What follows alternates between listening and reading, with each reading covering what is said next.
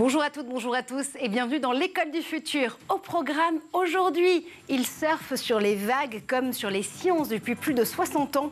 Portrait à suivre du scientifique, écrivain et entrepreneur Joël de René. Il surfe sur la vie tout simplement, c'est Gaël Musquet. Et tu as une idée derrière la texte, ça tombe bien. Et j'ai même envie de dire que dans cette idée, vous avez le même âge, vous avez un certain succès malgré la concurrence et pourtant vous n'avez pas dit votre dernier mot, ni toi, ni lui. Lui, c'est Ethernet, le câble réseau, qui continue à faire des miracles. Oui, complètement. Même s'il a été euh, normalisé euh, en 1980, il a quand même euh, été mis en œuvre il y a plus de 50 ans. 50 ans de bons et loyaux services de nos fameux câbles réseau. On va voir un peu la saga et pourquoi ce protocole est encore nécessaire dans nos infrastructures numériques. On le voit avec toi dans un instant. notre question du jour, c'est le mois de mai. Jusque-là, ça vous aura pas échappé. Fais ce qui te plaît, mais célèbre aussi l'Europe ce joli mois, comme il est maintenant dénommé, va voir des initiatives se succéder pour ouvrir le débat sur l'avenir politique, tech, éducatif du continent. Alors, une tech européenne, ça veut dire quoi exactement? Et puis surtout, est-ce qu'il faut sauter sur sa chaise comme un cabri en criant la tech, la tech, la tech?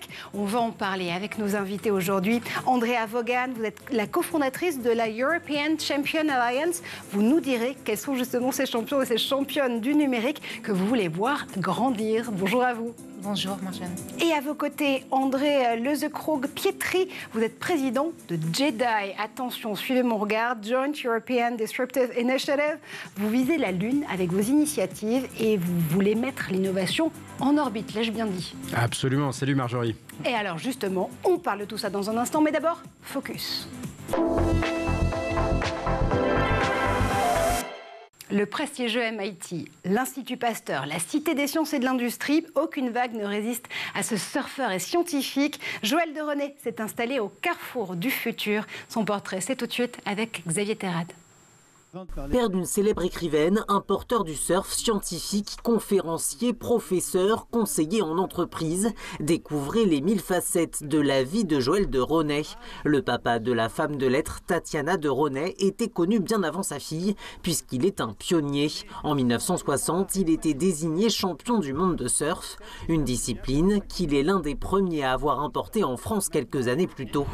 En plus, le surf, c'est un peu une métaphore du vivant. La vie est comme une vague et sur cette vague, on est à la fois déterminé et libre. Déterminé parce que la vague, elle est formée par quelque chose d'autre qui ne dépend pas de moi, ne dépend pas de ma vie. Et en même temps libre d'évoluer sur cette vague de manière différente. Donc le surf, c'est plus qu'un sport, c'est un art de vivre, c'est une culture. Découvreur du surf, mais aussi de l'ancêtre d'Internet, le réseau ARPANET, alors qu'il était enseignant-chercheur au Massachusetts Institute of Technology de 1967 à 1975. Dans la même période, Joël de René était attaché scientifique auprès de l'ambassade de France aux États-Unis. Sa proximité avec les politiques ne suffira pas à faire arriver plus vite Internet en France. Mais cette découverte reste l'un des points forts de son parcours, débuté à l'île Maurice en 1937, Joël de René est arrivé à Paris en 1945, là où il passe son doctorat en sciences à l'Institut Pasteur. Il est alors spécialisé dans la chimie organique et prébiotique, mais son domaine de compétence va bien au-delà. Sa voix est toujours très écoutée, même en matière d'éducation. L'apprentissage moderne va se faire de plus en plus par une constellation d'outils qui ne sont pas seulement la tablette, mais aussi le smartphone, un sujet sur lequel Joël de Ronet ne manque pas d'humour. Et ce que ça faire la génération Internet aujourd'hui, la NetGen, que j'appelle les MHBG, les mutants hybrides bionumériques géolocalisés? Bien sûr. Euh, ce qu'ils savent faire, c'est apprendre aux seniors que la transversalité, encore une fois, des apps l'appli pour parler un peu plus correctement, des logiciels classiques, des réseaux, des moteurs de recherche et du travail ensemble créent une constellation qui catalyse l'apprentissage. Pour cet enseignant qui a été élu personnalité de l'économie numérique en 2012, il y a toutefois une condition. Donc tous ces outils doivent être utilisés. Mais le problème, la question, c'est d'avoir un projet pédagogique. Et ensuite, quand on a un projet pédagogique, c'est-à-dire un, plan systémique, alors on cherche les outils adaptés. Ce scientifique aux allures de philosophe, à la fois tranchant et élégant, qui se revendique d'une approche systémique, a trouvé le savant cocktail pour rester concernant, toujours dans l'air du temps, un savoir et une pensée qu'il ne pouvait que communiquer, notamment à travers l'écriture de nombreux ouvrages qui pourront servir de base pour les générations futures, la mise à exécution de la transmission qu'il a toujours défendue avec passion. Merci infiniment. Et tout de suite, on part à l'assaut de l'Europe numérique avec nos invités. C'est le talk, première partie. Et pour célébrer justement l'Europe en ce 9 mai 2023, André Lezecroc-Pietri, président de Jedi, est avec nous sur ce plateau. Andrea Vaughan également, cofondatrice de la European Champion Alliance. Euh, Jedi, vous avez bien vu écrit Jedi sur votre écran. Oui, mais comme Joint European Disruptive Initiative si je le résume, André, c'est l'ARPA européenne, encore faut-il savoir ce qu'est l'ARPA, cette agence justement de l'innovation rattachée à l'administration américaine qui a toujours poussé la recherche et le développement en matière de technologie. Vous regroupez de nombreux acteurs, encore une fois, chez Jedi, hein, de l'innovation technologique. Euh, l'idée, c'était de se dire que finalement, importer une méthode américaine pour faire bouger le cocotier de l'innovation en Europe, ce n'était pas si euh, euh, tiré par les cheveux que ça. Oui, on va essayer de s'inspirer des meilleurs. Et, euh, et aujourd'hui, cette agence, effectivement, elle est à la base de la quasi-totalité des grandes innovations qu'on a connues dans les 60 dernières années. Pensez au GPS, pensez à Internet. Internet s'appelait initialement ARPANET, donc ça vient de, l'ARPA. Euh, plus récemment, tout ce qui est les microprocesseurs, euh, les, microchips, la, furtivité, euh, les véhicules autonomes, Siri dans, vos, téléphones mobiles. Tout ça vient de, de grands défis. Alors, qu'est-ce que fait ARPA et donc qu'est-ce que fait Jedi? C'est on lance des grands défis technologiques sur des sujets trop risqués ou trop long terme pour les entreprises, mais qui peuvent changer le monde. Et, euh, et c'est notre objectif, c'est on peut se lamenter que l'Europe soit en retard, on va sûrement un petit peu en parler. J'ai l'impression que vous allez vous lamenter. Oui. Mais euh, on peut aussi être de manière très positive, euh, et on a essayé de, regretter, euh, de, de, regrouper la plupart des acteurs, les scientifiques, les grands fondateurs de start-up deep tech, mais aussi des industriels dans tous les pays européens et même au-delà, les Suisses, les Britanniques. Et en fait, on lance la mission de Jedi, c'est de lancer des grands défis pour s'assurer que l'Europe soit à la hauteur et en tête Donc, dans cette course technologique des missions pan-européennes qui sont très en avance de phase et qui, dé qui dépassent stricto sensu les frontières de l'Union européenne. De l'autre côté, justement, de la table et, de, de, la chaîne de valeur de cet écosystème, il y a vous, André, avec la European Champion Alliance. C'est une association à but non lucratif. Jusque-là, tout va bien parce que vous êtes à la fois des experts, des expertes à travailler pour, j'allais dire, le bien commun, quasiment pour le fait de faire mieux éclore ces startups, ces scale scale-up européenne, leur donner une véritable chance d'exister et à la fois de promouvoir un certain leadership entrepreneurial mais aussi technologique. Tout à fait. Donc la European Champions Alliance, comme vous l'avez dit, c'est une euh, association à loi euh, de 1901, donc à but non lucratif, qui a été créée en 2020 euh, avec le but de euh, aider, de promouvoir aussi euh, les startups et les scale-up européennes et de les aider à grandir plus rapidement parce qu'on a besoin mmh. plus de champions numériques européens, des grandes sociétés technologiques qui sont leaders mondiaux sur un certain nombre de technologies. Et c'est pour ça qu'on a créé cette association et maintenant on fête nos trois ans. Joyeux anniversaire. Euh, vous organisez le 11 mai, cette semaine, tiens, le European Champions Day 2023, jusque-là tout va bien. Qui sont vraiment ces, ces champions européens que vous appelez de vos voeux?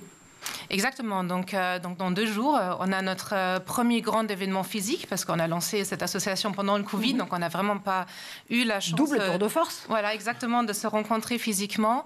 Euh, donc, on va aborder trois thèmes lors de cette journée-là qui sont pour nous très importants, mmh. euh, qui sont la, la, la, cybersécurité, ouais. le climat, donc ce qu'on appelle le climate tech aujourd'hui, donc mmh. des technologies qui sont là pour améliorer notre empreinte carbone aussi dans le monde. Et troisièmement, la smart industry, donc la digitalisation des industries et de nos usines. Quand je vous entends et quand j'entends ces thèmes, d'abord, j'ai envie de faire un énorme clin d'œil à Gaël Musquet, ici à côté de nous, mais surtout, je me dis que ça reflète, là aussi, André et Andrea, euh, certains champs de technologie, certains champs d'innovation que l'Europe a envie particulièrement d'incarner aujourd'hui. 2023 évidemment, mais surtout pour les années qui viennent, la cyber, la deep tech, le climate change, euh, le climate tech, euh, le fait de se dire que même dans l'industrie aussi 4.0, on a plus que jamais un rôle européen à jouer. Est-ce que je dis vrai, euh, André? Oui, on a un vrai rôle. Et on sort d'une séquence politique un petit peu compliquée où souvent on entendait, mais il nous manque un cap, il nous manque une vision. Euh, on a vraiment l'impression que l'Europe, elle a un boulevard devant elle. La France, l'Europe a un boulevard. Euh, le sujet de la lutte contre le changement climatique, c'est pas juste quelque chose de contraignant, c'est quelque chose qui va nous permettre de réinventer. on parlait du Covid, on avait tous espéré que le Covid, il y aurait un monde totalement différent. Malheureusement, on se rend compte que bah, on prend malheureusement toujours autant l'avion, on se Donc les changements d'habitude, ça, ça va être très compliqué. Donc la technologie, en plus des changements de, manière de faire, va être absolument essentielle. La deuxième chose, c'est le, digital. On est entré de plan play euh, dans un monde où le digital est au cœur, pas juste de l'économie, mais de nos systèmes démocratiques, de la manière dont les opinions politiques se forment, etc. Et on se rend compte aujourd'hui que les Européens ont besoin de réinvestir et là aussi, aujourd'hui, les technologies digitales sont souvent vues comme euh, contraignant la, démocratie ou les libertés publiques. On pense à la, reconnaissance faciale, on mhm. pense aux, grands réseaux sociaux. La question, c'est est-ce qu'il peut y avoir des technologies qui, au contraire, encouragent euh, euh, le partage, la diversité, le consensus, enfin ce qui fait la base de nos, de nos sociétés. Et la troisième chose, c'est, je crois, la santé. Je crois qu'on sort quand même d'une, séquence terrible qui est avec le Covid. Et on s'est rendu compte aussi que la santé, pour le coup, n'était pas une compétence à niveau européen, mais une compétence de chaque État membre. Donc il y a peut-être aussi des ponts à trouver, des règles à Il y a des ponts à trouver, et il y a surtout une préparation. On mhm. voit bien aujourd'hui, si on avait préparé, avec des si on fait beaucoup de choses, si on s'était préparé vraiment à cette pandémie, euh, ça aurait coûté beaucoup moins en termes de drame humain et, également euh, financier. Euh, malheureusement, ce genre de crise risque de se reproduire. Mhm. Est-ce qu'on va être mieux préparé? Et Donc c'est vraiment un, cap qui, je pense, est très enthousiasmant pour pas juste les décideurs et pas juste l'élite, mais vraiment la société tout entière. La société tout entière et l'écosystème au sens vraiment premier du terme. Je me retourne évidemment vers Gaël, parce que Gaël, euh, vous le savez, euh, messieurs, dames, non seulement est hacker éthique, mais surtout prépare les populations aux situations de catastrophes naturelles et d'urgence, pas que les catastrophes naturelles pour le coup.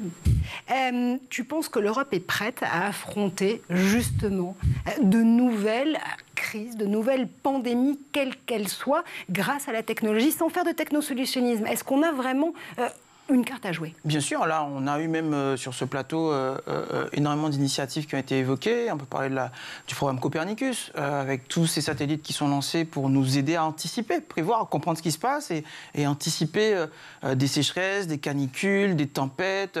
On a un programme spatial qui est ce qu'il est aujourd'hui, mmh. mais qui n'a pas du tout à, rougir avec la constellation Galileo. on a des champions de l'open source, Videolan, qui est le logiciel français, et même presque mondial le plus téléchargé et le plus utilisé au monde. On n'a on a vraiment pas à rougir en fait hein, de nos mhm. capacités euh, et de nos, entrepreneurs historiques comme Fabrice Bellard avec euh, FFmpeg dont on a déjà parlé ici. Donc on n'a absolument pas à rougir sur ces questions-là, mais en même temps, il faut une volonté politique et économique pour accompagner ces TPE, PME, ces entrepreneurs et ces innovateurs pour qu'ils puissent justement ben, pouvoir être à la hauteur des investissements qui sont faits sur d'autres empires, hein, euh, du côté de la Chine, euh, du Japon euh, et de l'Asie en général, même hein, quand on prend la mm. Corée, et évidemment des Amériques, bien entendu. Ça, c'est intéressant ce que nous dit Gaël, parce qu'Andrea, on a coutume de dire que ce qui manque peut-être à la tech européenne, c'est un marché pas parce qu'il n'existe pas, mais parce qu'il est déjà énormément saturé par d'autres euh, plateformes et d'autres grands services euh, technologiques, qu'ils soient chinois, qu'ils soient américains ou qu'ils viennent d'autres grandes nations tech par ailleurs. C'est ça ce qui nous manque. C'est peut-être aussi le, le fait d'oser se dire que entre Européens ou de façon pan-européenne, on peut aussi proposer des services tout aussi performants, tout aussi utiles. Tout à fait. Donc, les sociétés européennes ont, comme tu disais, pas du tout euh, à rougir mhm. euh, devant les concurrents américains. Et je pense que c'est quelque chose que nous, on défend aussi avec notre association, c'est de dire que pour la plupart des défis technologiques qu'ont les entreprises aujourd'hui, il y a des alternatives européennes qui existent, de très bonnes sociétés, des TPE, des PME, mais aussi ce qu'on appelle des scale-up, donc des sociétés déjà un peu plus grandes et qui ont déjà une implantation européenne ou internationale, qui peuvent tout à mhm. fait proposer des services et des produits qui sont à la hauteur euh, de de nos concurrents, éventuellement américains ou chinois. Donc tout à fait, ça existe. Il faut aider et, euh, accompagner pour qu'il y en ait encore plus mhm. dans tous les différents secteurs. Pour une entreprise, pour une grande entreprise, par exemple du CAC 40, euh, elle a des, demandes et des défis euh, dans tous ces différents secteurs d'activité. Donc il faut pouvoir apporter aussi des solutions par les sociétés européennes à tous ces défis. Et faire que ces solutions européennes ne soient pas uniquement la face immergé, si j'en dire, de l'iceberg, pas que du B2B, ce soit aussi du B2C, que ce soit des produits de grande consommation et pour le grand public. C'est ce qui nous manquait peut-être aussi jusqu'à présent, André, cette idée, alors je vais faire du vocabulaire très tech, de l'UX, euh, le user experience, le fait de se dire qu'il faut mettre à portée d'utilisatrices et d'utilisateurs des systèmes qui soient simples, qui soient beaux, qui soient transparent.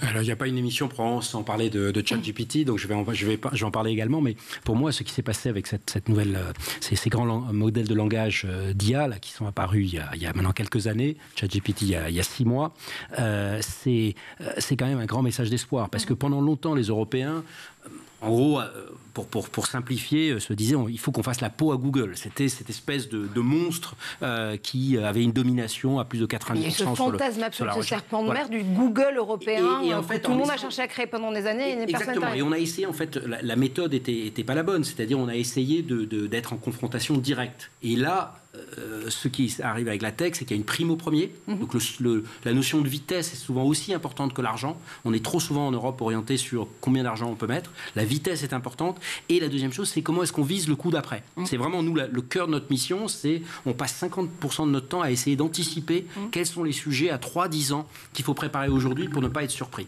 Et à nouveau ChatGPT, euh, au lieu de faire de la confrontation frontale, a inventé avec une UX absolument incroyable, c'est-à-dire on peut rentrer avec des phrases absolument normales, au lieu de faire une recherche par mots-clés.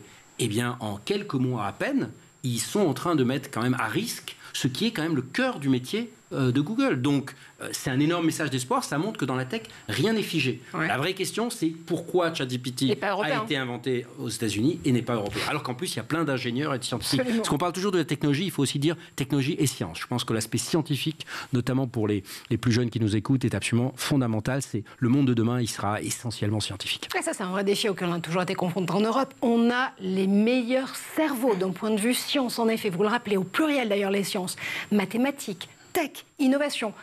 Et pourtant, pendant longtemps, on a été bloqué par un plafond de verre pour faire émerger ces talents et passer finalement de la recherche au brevet, à l'industrie et aux produits. Comment ça s'explique, Andrea? Et ben, je pense qu'en effet, donc, comme vous dites, on a euh, en Europe euh, vraiment les meilleures euh, têtes, les meilleurs -hmm. cerveaux qui sortent de nos universités. Après, il faut transmettre ça dans les entreprises, dans les industries. Il faut que ça vive. Ça veut dire qu'il faut que ces gens aussi puissent s'exprimer. Donc, il faut d'un côté soutenir la recherche et l'innovation dans les universités, en faire sortir aussi des spin-offs des sociétés qui après arrivent -hmm. un petit peu chez vous avec les, les projets dans la, dans la disruption de l'innovation. et après, il faut le transmettre dans les entreprises et faire aussi grandir ces innovations et aussi euh, ces, euh, techniciens et ces spécialistes dans les entreprises. ce qui est en train de se découper sur ce plateau, c'est de véritables vases communicants, encore une fois, entre des institutions comme la vôtre et des fondations comme Jedi André, qui permettent de voir, de mettre un cap euh, d'une deadline sur l'innovation en avance de phase, jusqu'aux initiatives, aux alliances comme les autres, comme les vôtres, Andrea, qui vont, une fois qu'on est arrivé au projet et à l'entreprise, pouvoir les porter haut. Gaël, toi aussi, tu as l'impression que tout le monde peut jouer un rôle dans cet écosystème? Complètement. On a une aversion au risque aussi euh, sur ce continent euh, qu'on ne retrouve pas forcément en Asie ou, euh, ou, aux États-Unis.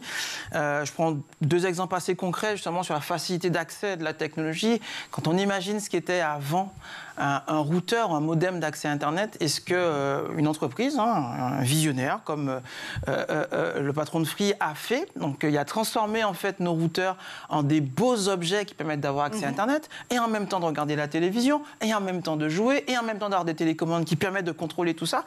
Rien que ça, on n'a pas, encore une fois, hein, on n'a pas du tout à rougir de, de cette mmh. affaire-là. Je prends un autre cas, l'ETSI, qui est quand même l'organisme qui normalise ce que sont les télécommunications dans le monde il est à Sofia Antipolis, mm -hmm. c'est euh, cet organisme. Euh, et on a sur notre territoire, sur le sol français, toutes les raisons et tous les moyens d'accéder à ces nouvelles technologies. Des entreprises ne s'en privent pas, des TPE comme Enensys, comme Amarisoft, innovent en la matière, mais où est-ce qu'elles font la majorité de leur chiffre d'affaires? Aux États-Unis, en Asie, en Afrique et en Amérique latine. Donc c'est bien la preuve que on a effectivement ces, ces, talents, on a effectivement ces pépites, on a évidemment ces chefs d'entreprise qui souvent, avec parfois beaucoup d'humour, prennent des risques, mais en même temps que les capitaux en Europe n'accompagnent pas ou qu'on ne soutient pas forcément au début, en tout cas. je pourrais encore citer l'exemple d'OVH avec le mm. refroidissement des serveurs par, par de l'eau. C'était pas trivial quand, quand Octave a commencé. et aujourd'hui, ça, va, ça tombe sous le sens pour beaucoup de data centers de se refroidir en fait avec ces circuits à eau directement sur les composants électroniques. Donc voilà, on a, on a plein d'exemples, mais qu'il faudrait évidemment continuer à soutenir euh, et accompagner. Si j'extrapole, ce que tu nous dis, c'est qu'en Europe, on n'a pas de pétrole, mais on a des idées. Le problème, c'est de réussir à les mettre dans les pompes à essence. Oui, alors il faut faire quand même attention. On a de plus en plus dans le monde entier euh, des bonnes idées. Et en fait, l'idée unique qu'on a tout seul dans son coin, elle n'existe plus. Elle est quand même très distribuée. Et, ça, et là, pour le coup, le Covid a accéléré cette interconnexion. On l'a bien vu pendant la recherche sur le vaccin. Mhm. On a eu l'impression quand même que le monde était un énorme cerveau qui travaillait ensemble. Et en huit mois, on a réussi quand même un miracle assez, assez étonnant. Euh, euh, deux choses, peut-être une complémentaire qui est souvent, qui est pas souvent mhm. notée. Euh, on pense toujours que c'est une question d'argent ou de prise de risque. Bon, j'achète pas trop cet argument-là. Je pense que notre capacité de prise de risque, elle est la même. Le problème qu'on a aujourd'hui, c'est que dans la technologie, surtout dans ce qu'on appelle la deep tech, donc vraiment les, ces sociétés qui, sont, qui sont vraiment fondées sur la science, sur des innovations de rupture, le risque, il est le même partout. Euh, en Chine, à Palo Alto, à, à Boston, euh, à Paris, à Munich. Mais euh, le potentiel de gain, ce qu'on dirait dans le jargon des, investisseurs, le l'upside, bah, il est continental aux États-Unis, mm-hmm. il est continental en Chine. Bah, il est, on fait une grande société française, une grande société allemande. donc il est segmenté parce qu'on n'a pas euh, ça, il faut vraiment aussi tordre le cou à cette idée. Il n'y a pas aujourd'hui de marché unique sur tous les sujets d'avenir. Sur l'énergie, il n'existe pas. Regardez juste le conflit entre mhm. les Français et les Allemands. Il n'existe pas dans la cyber. Il y a 27 agences de cybersécurité. Il y a 27 stratégies d'intelligence artificielle. Donc là, il y a un vrai effort. Moi, j'aimerais bien qu'au lieu de se concentrer sur la pluie de subventions que, nos hommes politiques aiment bien, et hommes, et femmes politiques, c'est bien réparti là, euh, aiment distribuer, il faut probablement le faire, il faut qu'il se concentre sur créer un vrai marché qui aujourd'hui n'existe pas pour vraiment avoir cette perspective. Aujourd'hui, une start-up euh, dans la santé française, quand elle va en Allemagne, elle doit repasser par les autorités de contrôle. ce, que, ce que vous voulez dire quelque part, c'est qu'en fait, si on avait un Doctolib qui pouvait s'importer et s'exporter, même s'implanter en tout cas, ah ben voilà, ça tombe bien, partout dans les 27 pays de l'Union européenne, ce serait d'autant plus simple. Il faudrait qu'il y ait une espèce de, de, de start-up visa dans le bon sens du terme, parce qu'il existe avec la French Tech, mais pour d'autres questions.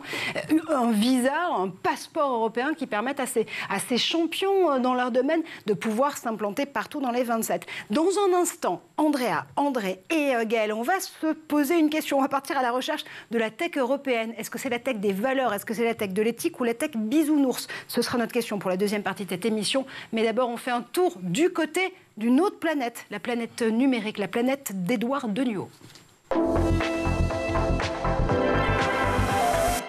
Et c'est le zap de notre très européen Édouard.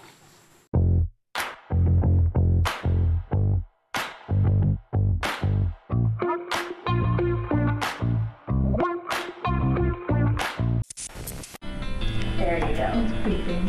So now technically your device is on. Can you tell?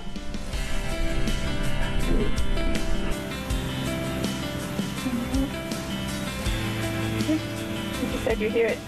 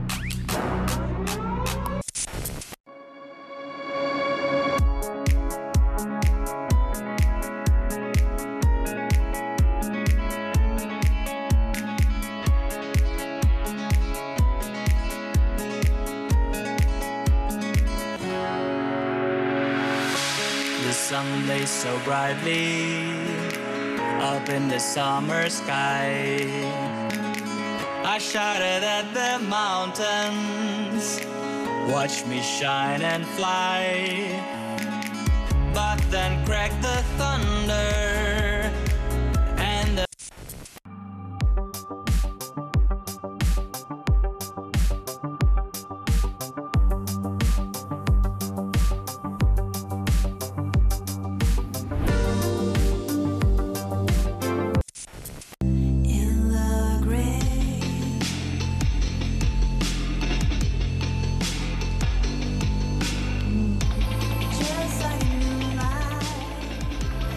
êtes de retour dans l'école du futur, toujours en compagnie d'Andrea Vaughan, d'André Lezecroux-Pietri pour Jedi et pour le European Champion Alliance. Vous le savez, aujourd'hui, on parle, on célèbre cette Europe euh, et on essaie de comprendre ce que veut dire réellement la tech européenne. On est aussi avec Gaël Musquet et ça tombe très bien parce que Gaël a une idée derrière la tech.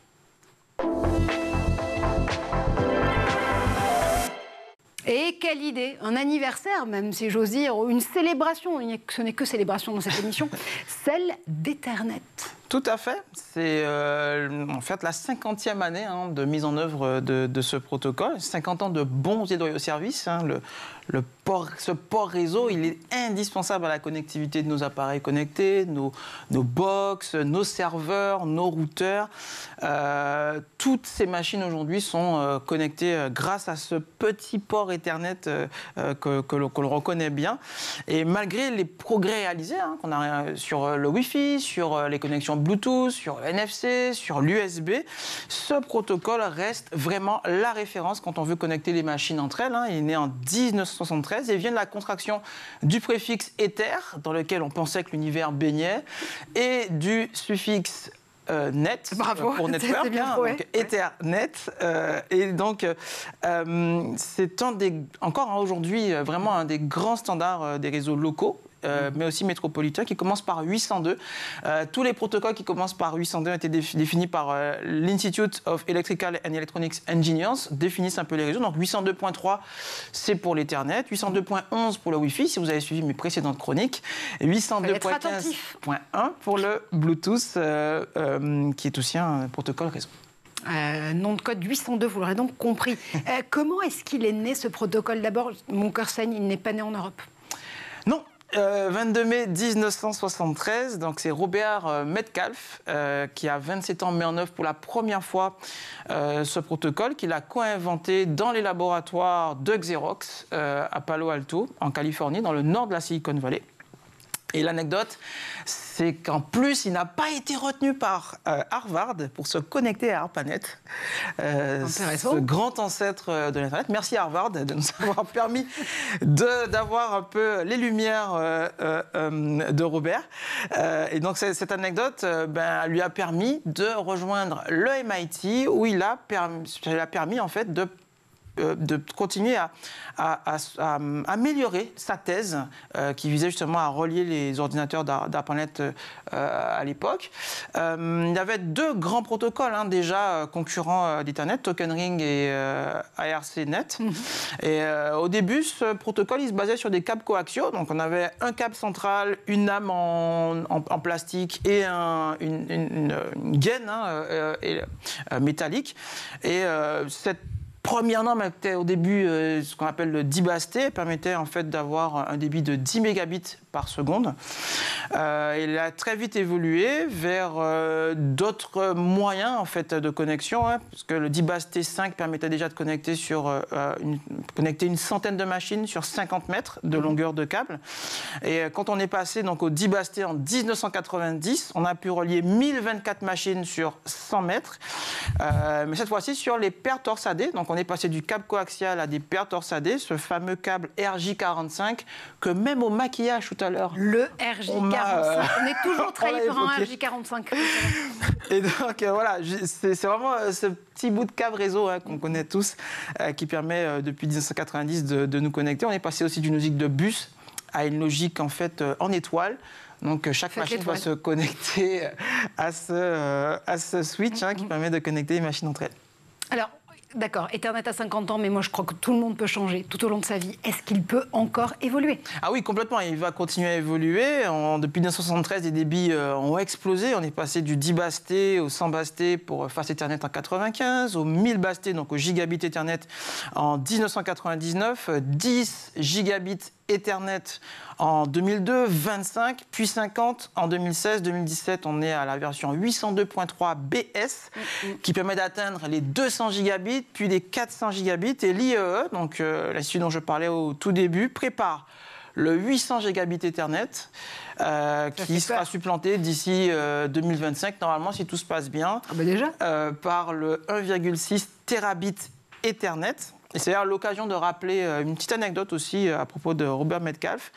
Euh, c'est qu'il est connu pour deux autres raisons. La première, c'est la loi de Metcalfe, parce qu'il a évoqué très tôt qu'un réseau, l'utilité d'un réseau, était proportionnelle au carré de ses nombres d'utilisateurs. L'intelligence, quand on regarde un réseau comme Wikipédia ou comme OpenStreetMap, ne va pas être linéaire en fonction du nombre d'utilisateurs, mais l'intelligence, elle va venir, elle va augmenter au carré du nombre de personnes qui se, qui se connectent et qui contribuent à l'intelligence du réseau. Et c'est pareil pour Ethernet.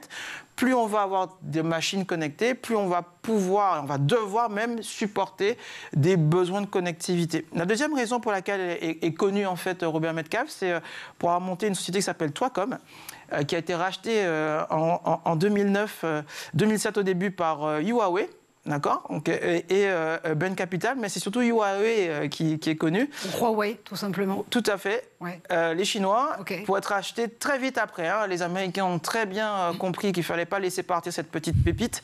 En 2009, par HP, pour 2,7 milliards de dollars. Donner intérêt un peu hein, d'avoir les travaux de Robert mhm. Metcalfe sur le sol américain. Et euh, ces travaux, d'ailleurs, ont été euh, euh, récompensés le mois dernier, il y a, deux mois d'ailleurs, par le prix Alan Turing, hein, qui est la plus haute distinction pour un ingénieur. donc longue vie à lui, longue vie à Internet. Hein, il fête ses 77 ans cette année. À Internet, surtout et Internet 50 ans. Surtout Internet. Euh, merci infiniment, c'est très précis les chroniques de Gaël parce que vous le savez, si vous êtes en train de réviser pour votre brevet PIX, votre brevet de compétences numériques, ce sont des données qui vont vous être précieuses.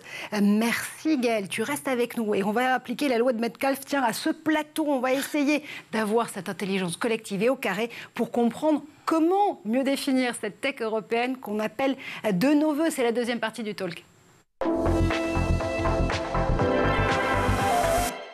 Et pour continuer justement à brainstormer sur cette Europe à la fois numérique, tech et l'Europe des valeurs, on est avec Andrea Vaughan pour la European Champion Alliance. Vous tenez cette semaine, le 11 mai très précis, la toute première conférence où vous allez mettre ces champions et ces championnes de l'écosystème numérique euh, européen à l'honneur. André Lezecro-Pietri, vous êtes président de JEDI, Joint European Disruptive Initiative, qui est littéralement l'application de l'ARPA oui, mais en Europe. Vous, vous, vous visez la Lune, sans mauvais jeu de mots pour le coup, euh, parce que vous avez importé aussi de cette agence, euh, à la fois de l'innovation et de la recherche euh, liée à l'administration américaine, le concept des Moonshot Projects. Donc l'idée, c'est vraiment de se dire, on va viser la Lune de façon proprement littérale, que ce soit en matière d'espace, d'innovation purement technologique, en deep tech, ça peut être aussi dans la production aussi de, ces technologies. On va se donner aussi une deadline, il y a beaucoup d'anglais dans cette phrase, on va se donner justement aussi un rétro-planning pour se dire que cette innovation, elle est atteignable dans 5, 10, 15, 20 ans. Vous donnez un horizon et vous vous dotez des moyens pour pouvoir l'atteindre. Alors, l'ARPA, c'est d'abord une méthode. Mais, mais avant d'y venir, euh, d'abord, j'ai trouvé très intéressant la, chronique parce que le, sujet de Metcalf mhm. non pris par des grandes institutions, c'est exactement le cœur de, euh, de Jedi. L'idée est de dire que si on est linéaire, on va de toute façon toujours être en train de courir derrière ceux qui ont déjà pris un avantage et qui ont cette... Euh, donc, sur les réseaux sociaux, c'est classique. C'est-à-dire courir derrière les Facebook, les Google, les Microsoft a peu de sens. Donc, mhm. là, donc là, il faut vraiment être disruptif et être exponentiel dans notre approche. Une, anecdote. En 62, il y a ce fameux discours de Kennedy qui euh, euh, annonce que euh, les États-Unis se donnent comme objectif de mettre avant, donc objectif précis, quantitatif, timé, avant la fin de la décennie, donc avant 1970, un homme sur la Lune. Ils n'ont à l'époque aucune idée de comment ils vont faire ça. C'est le fameux projet Apollo. Mhm. Et avec cette phrase extraordinaire, pourquoi nous le faisons? Pas parce que c'est facile, mais parce que c'est dur. Et vous avez une foule vraiment en délire. Et il y a cette anecdote, alors je ne sais pas si c'est un mythe ou si c'est une réalité, mhm. où quand ensuite on demande à quelqu'un euh, qui est en train, quelqu'un qui fait de l'entretien, euh, dans, la, dans le, le, centre spatial euh, euh, en Floride qui lance donc Cap Canaveral et on lui demande mais qu'est-ce que vous faites monsieur là en train de laver les vitres ou madame? Euh, il répond je travaille à mettre un homme sur la lune. Et vous voyez c'est exactement ce genre de projet dont on a aujourd'hui désespérément besoin. C'est-à-dire un cap une vision qui va permettre d'agglomérer les énergies. Et, le fait que tout le monde se sente aussi partie prenante de ce défi de ce challenge à c'est pas un défi qui va rester cantonné dans les labos. C'est vraiment un défi de société. Et c'est probablement l'innovation que nous on essaye d'apporter à, l'ARPA. L'ARPA américaine, elle est liée au Pentagone, ou à l'administration, comme vous le citiez. Nous, c'est véritablement une initiative de la société civile. C'est un petit peu un objet politique non identifié, c'est de dire euh, comment est-ce que la société civile, les scientifiques, les start-up, les, industriels peuvent se mobiliser, euh, et dans les trois grands domaines qui sont importants pour, pour les Européens, le climat, le digital euh, et la santé. Et à nouveau, je parlais de méthode. L'idée est de dire le temps est tout aussi important que l'argent. On va essayer de faire en deux ans ce qu'un programme de recherche classique va mettre dix ans à faire. On va pas juste attendre que les gens candidatent, on va aller chercher les meilleurs pour s'assurer que les meilleurs cerveaux travaillent sur un, un, sujet. On va pas faire des sujets technologie pour la technologie, euh, donc, euh, mais on va vraiment toujours partir d'un enjeu de société. Mhm. Euh, donc vous voyez, on a des sujets sur est-ce qu'on peut détecter les tout feux naissants, feux de forêt naissants en Europe en moins de 15 minutes Est-ce qu'on mhm. peut rendre l'hydrogène vert trois fois moins cher qu'aujourd'hui, c'est-à-dire le rendre au même prix que l'hydrogène gris? Est-ce qu'on peut créer des batteries qui sont dix fois plus puissantes, ont une densité énergétique dix fois plus mhm. importante Des objectifs très clairs en étant quatrième élément de la méthode, totalement ouvert sur la manière d'y arriver. Mhm. Et c'est là où on encourage des, des, équipes vraiment interdisciplinaires. On ne va pas dire il faut juste des scientifiques ou juste des start-up. L'excellence, d'où qu'elle vienne, d'où qu'elle vienne euh, en termes de, type et d'où qu'elle vienne également en termes de géographie. Bon, alors, des solutions concrètes à craquer, apporter des problèmes, apporter des problèmes, apporter des solutions, pardon, justement à ces problèmes pour justement investir la société que chacun et chacune se sente partie prenante de ce challenge à relever. Je sens que vous allez séduire un cœur éthique euh, autour de cette insulaire, en plus. Et insulaire, on parle de insulaire, donc c'est magnifique. Et ce qui est intéressant aussi, et je vais filer la métaphore Star Wars avec vous, André, euh, évidemment cet acronyme Jedi, il me fait dire que la force est peut-être avec nous. C'est important, là aussi c'est plus qu'un jeu de mots de se dire que l'Union européenne fait vraiment la force en matière d'innovation tech, spatiale, deep tech oui, alors quand on voit aujourd'hui dans toutes les grandes sociétés technologiques mondiales, euh, les, Français, les Allemands, les Estoniens sont un petit peu partout. Mhm. La vraie question, c'est pourquoi se retrouvent-ils quand même souvent concentrés euh, euh, aux États-Unis. Alors, à un moment, ils étaient un peu en Chine, mais c'est un petit peu moins le cas aujourd'hui, euh, ou au Canada, ou ailleurs. L'idée, c'est de leur donner, en fait, ces espaces de liberté. Mm-hmm. Et vous voyez, il y a grand, beaucoup de débats. C'est évidemment, notre démarche, elle, elle a un, côté politique, mais j'espère au sens noble du terme, qui est de dire le rôle de l'État, de la puissance publique, doit se justement se cantonner, mais c'est tellement essentiel, à donner un cap pour ensuite créer des espaces de liberté dans lesquels tout le monde peut s'exprimer. Donc, on n'est ni dans le laisser-faire, et c'est là où l'Europe a quand même une singularité. Euh, ma définition de l'Europe, c'est que c'est un continent qui a cette curiosité de, toujours essayer de chercher euh, la nouveauté sans vouloir imposer une vision aux autres. Et là, vous voyez, on se distingue des, deux autres empires qu'on mhm. connaît, qu'on connaît aujourd'hui. Et, et, en, donnant ce... Donc, c'est vraiment pas un État entrepreneur qui va mettre de l'argent dans telle ou telle société. Ça, je crois que ça a souvent très mal terminé.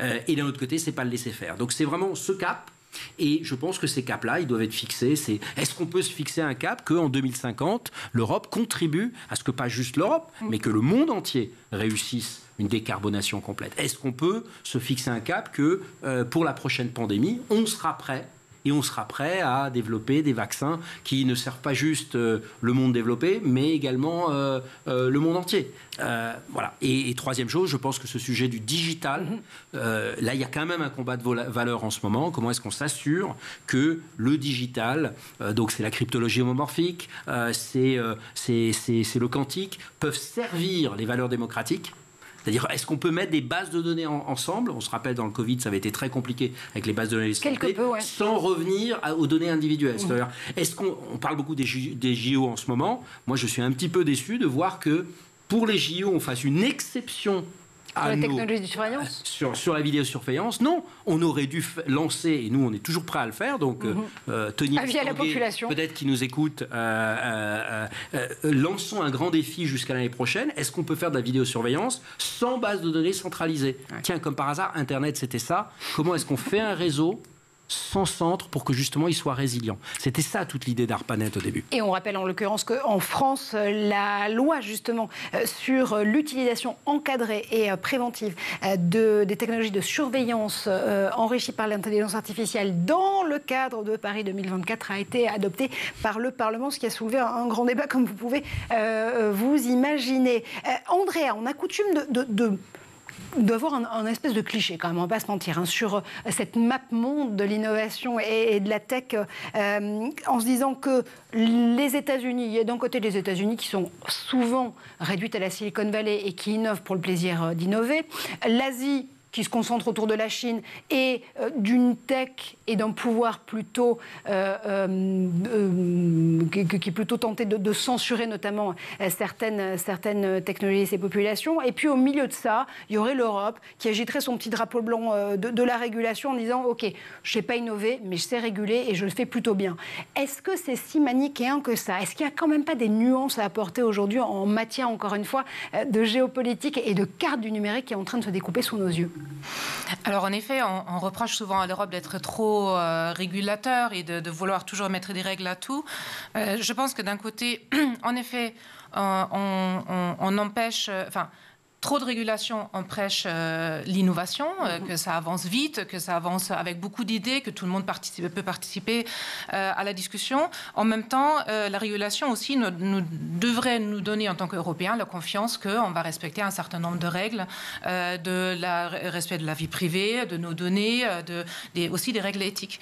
Donc moi je pense que la régulation est importante. Après, ce, qui nous importe, nous, à la European Champions Alliance, il y en a des sociétés qui veulent grandir sur le sol européen, c'est de pouvoir les accompagner pour bien comprendre ces mhm. régulations, pour grandir malgré les régulations, comme disait André aussi tout à l'heure. Ça veut dire que je veux exporter dans un autre marché. Il y a la régulation comme un mur devant moi, donc il va falloir que je comprenne en tant que société qui grandit, qui est petite, qui n'a pas beaucoup de moyens souvent. Ce mhm. C'est pas évident de faire ça, donc je pense qu'il faut les accompagner, il faut aider à comprendre la régulation euh, et après euh, aider les entreprises aussi de prendre ces régulations et de les transformer dans un plutôt dans quelque chose de positif pour eux euh, de pouvoir euh, justement avoir cette flexibilité aussi, de pouvoir s'adapter à des régulations euh, françaises, allemandes, suédoises, peu importe, en tout cas une flexibilité quand même dans le développement international. Donc je pense que c'est ça vraiment ce qui, est important pour nous. Ouvrir les chakras de la régulation et de la réglementation. Si je vous entends bien, je vous ai promis en début de cette partie d'essayer de définir quelque chose qui est indéfinissable. Quoique,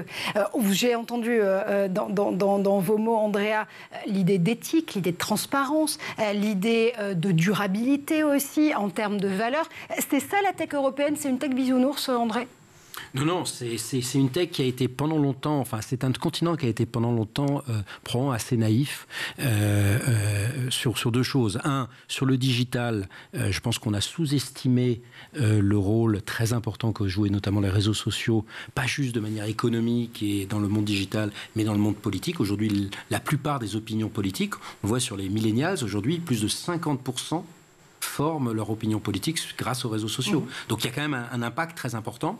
Euh, la deuxième chose, c'est l'impact évidemment des technologies, et là je vais parler plutôt de la science, euh, dans l'organisation. On a bien vu sur les vaccins à quel point le développement technologique était un élément clé de la géopolitique. On voit aujourd'hui que le conflit entre les États-Unis et la Chine, il est essentiellement mmh. autour des puces, des drones, de l'espace. Et si l'Europe et là je, rejoins ce que, ce que disait Gaël, euh, si l'Europe n'est pas à la hauteur, je, rappelle aussi cette histoire historique. Einstein était un pacifiste convaincu. Et c'est lui qui, en 1939, a écrit cette fameuse lettre à Roosevelt où il alertait du fait que les, que, les, que les scientifiques nazis étaient en train de travailler sur l'eau lourde pour développer éventuellement une arme nucléaire. Et donc c'est lui, son corps défendant, a alerté le président américain et c'est ce qui a donné ensuite le, le, le projet Manhattan et heureusement ou malheureusement, heureusement parce que ça a quand même arrêté la Seconde Guerre mondiale, et malheureusement parce que ça a été le, drame d'Hiroshima et de Nagasaki, a abouti au fait que c'était quand même les démocraties qui se sont euh, euh, armées de cette... Euh, et pas, et pas les, régimes autoritaires. Je crois qu'on est dans, le, dans le même schéma. Si on veut promouvoir nos valeurs, il faut s'assurer qu'on ne soit pas juste du côté purement éthique, mais il faut aussi qu'on s'arme et qu'on soit devant en termes de développement technologique. Il faut les deux. Si on veut projeter nos valeurs, si on veut les défendre, mhm. il faut à la fois être rigoureux sur notre éthique, c'est ce que je disais sur la vidéosurveillance. Si on commence à faire des concessions euh, sur la vidéosurveillance, les régimes autoritaires auront beau jeu de dire mais regardez, vous avez deux poids, deux mesures. C'est-à-dire vous essayez de prêcher la bonne parole, mais même chez vous, quand vous avez un enjeu politique qu'on peut comprendre, je veux dire, les JO, aujourd'hui, vous avez de la vidéosurveillance, vous ne l'utilisez pas, vous avez un attentat, imaginez la pression qu'il y a sur les responsables politiques. Donc c'est des enjeux très compliqués, où la seule chose, on ne s'en sortira pas avec de la régulation pure, c'est ma seule petite euh, critique, c'est juste de dire, ça y est, on a la régulation, on est bon, risque de- d'enlever le sentiment d'urgence. Il faut qu'il y ait ce sentiment d'urgence qu'on doit, être- qu'on doit être devant. Stop au principe de précaution. Que la force tech soit avec vous. Merci infiniment, André Lezecro-Pietri, euh, pour Jedi d'avoir fait un tour par le plateau de l'école du Merci infiniment, André Vaughan, pour la European Champion Alliance. Votre première conférence, ça se tient ce 11 mai. On va pouvoir, avec vous, découvrir les champions et les championnes que vous appelez évidemment de vos voeux en Europe. Merci, comme toujours, à Gaël Musquet pour tes idées derrière la tech. Et nous, on se retrouve dès demain pour d'autres aventures dans l'école du futur.